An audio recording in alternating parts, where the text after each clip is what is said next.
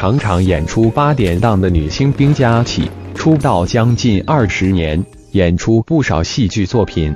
不过近年来在《娘家》《幸福来了》演出坏女人，才广为民众认识。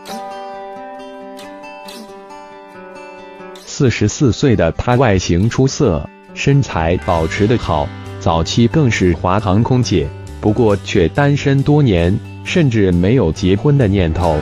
日前，他松口不想步入礼堂的原因，让大家都哭了。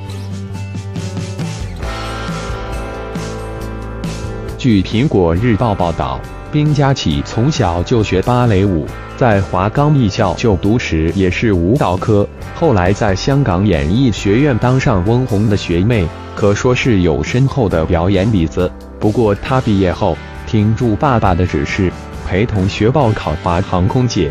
竟然就一举中的。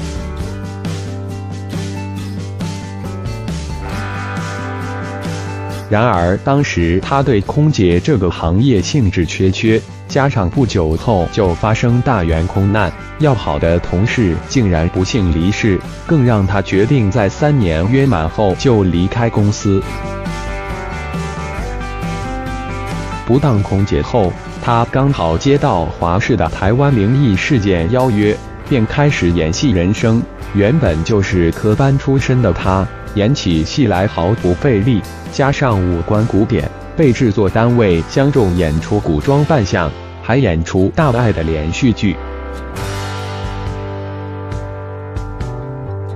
不过，真的开始大红，还是演了八点档的恶女。让大家看了又爱又恨，知名度大开的他，接到更多八点档的演出机会。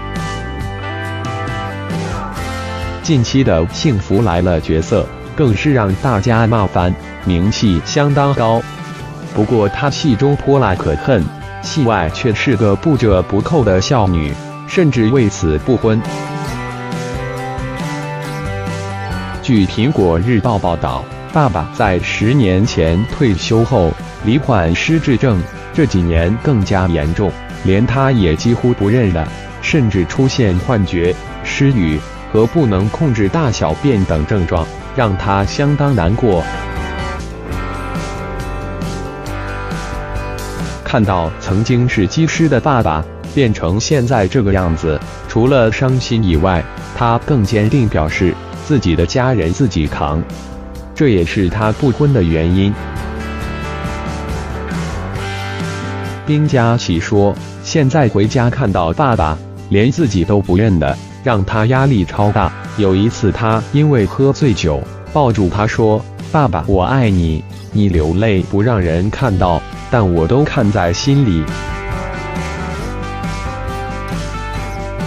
结果爸爸竟然安慰他，拍拍他的背，微微说。”